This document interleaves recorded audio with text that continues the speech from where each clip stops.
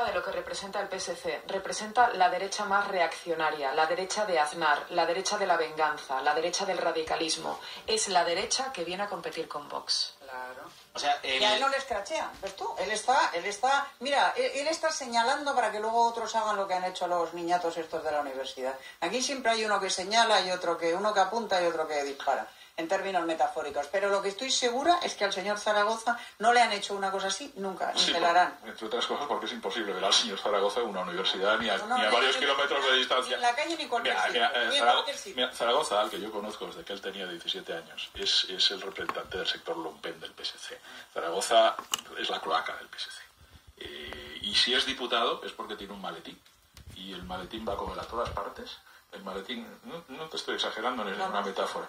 El maletín está lleno de papeles que guarda Pepe Zaragoza, que todo el, todo el PSC sabe que Pepe tiene un maletín y Pepe será diputado hasta que se muera. Porque el día que no vayan las listas Pepe, abre el maletín. Y Pepe Zaragoza, desde sus 17 años, que trabajaba en una panadería en el Valle Bregat y que ya era comisario político.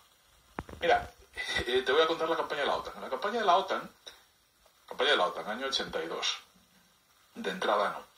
Responsable de los interventores en la provincia de Barcelona era yo. Y yo hacía algún comentario jocoso con las secretarias. Del tipo, yo por supuesto voy a votar no. Yo ya era así, ya me buscaba la ruina de joven. Eh, voy a votar no. Eh, con las secretarias, ¿eh? Bromas. Jaja, jiji. Al cabo de tres días aparece un tío de 18 años con pinta de chequista eh, que entra en lo que era mi despacho. Y me dice, tú eres Pepe. Yo también soy Pepe Zaragoza. Hablas demasiado. Hablas demasiado. Y cierra la puerta y se va. Eso era Pepe Zaragoza con 18 años. Yo era un chequista, y era un comisario político, y después ya ves cómo fue a mí en el PSC. Pero es decir, lo conozco como si hubiera parido.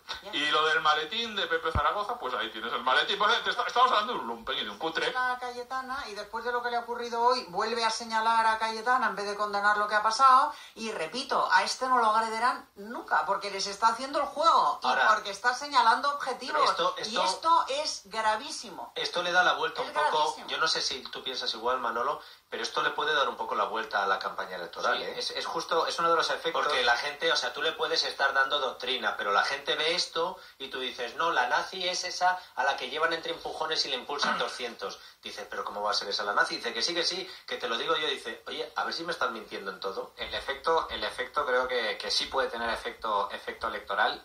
Es cierto que el, mal momento que ha pasado Cayetana, bueno, me, puedo imaginar un momento eh, absolutamente terrible, pero eh, refleja perfectamente las contradicciones de la, izquierda. Es decir, eh, por un lado, desdibuja el mensaje y el discurso oficial de la extrema izquierda apuntando a los nazis, apuntando a los fachas, apuntando a los fascistas, y luego las imágenes, que valen muchísimo más que mil y cien mil palabras, eh, refleja la realidad. La realidad es que los violentos son nosotros. Por lo tanto, eh, la gente razonable, la gente de bien, no se creerá ese tipo de mensajes. Y luego puede tener, eh, además, un efecto eh, positivo incluso para, para la propia Cayetana Álvarez de Toledo, el propio Partido Popular. Porque, claro, evidentemente hay que tener mucho arrojo y mucha valentía para plantarte en las puertas de la Universidad de Barcelona rodeada de radicales y, y, oye, eh, mm, firme, mantenerte firme en tu, en tu objetivo de entrar a la Todas las universidad. televisiones tendrían que abrir hoy sus informativos con las imágenes de Maite Pagazortundúa y Cayetana en el escenario, con las manos, como si fueran las manos blancas, con las palmas para arriba, gritando libertad, libertad en ese acto, porque eso es la noticia hoy en España. O sea, la noticia hoy en España es que dos candidatas, dos candidatas, van a una universidad pública y el recibimiento que tienen es el de las turbas fuera tratando de eh, que no se pueda celebrar el acto. Ese es el, esa es la noticia de hoy. Y luego el posicionamiento de otros, de decir, oye, pues yo me pongo de este lado y me pongo del otro, y sobre esto hablar, y no de eh, otras africadas que están eh, dominando el tema.